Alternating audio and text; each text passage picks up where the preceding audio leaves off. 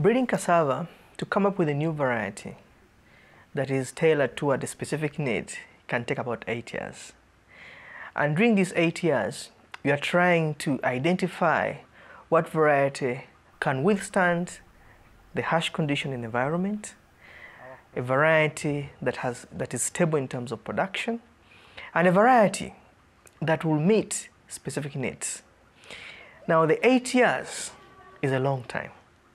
So any investment done in reducing that amount of time would be very important. Well, the first thing is that cassava is clonally propagated.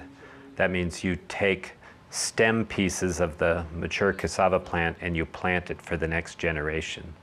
So farmers plant the same thing year after year after year. But to do breeding, you have to go through botanical seed. You actually, actually have to use flowers to make pollinations to produce seeds where you have new variation to select new varieties.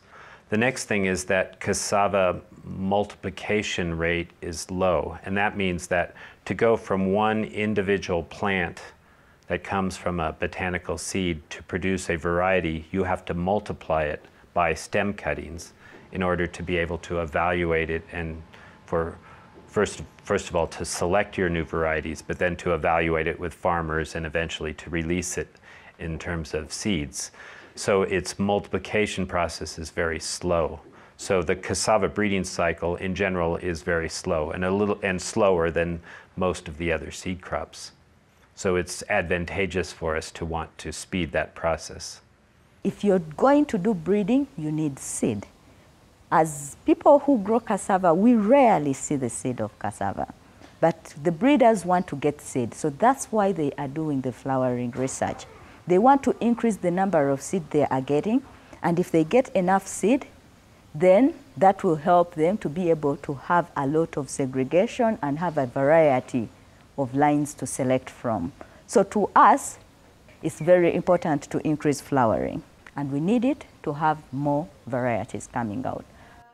The most important component of the whole project is to test genomic selection, which is a process of using DNA markers and relating them to the characteristics of the, the agricultural characteristics of the plants, and then being able to select based on the DNA characteristics of seedlings. And that allows us to make predictions about the performance of new varieties without having to grow them for many years in the field.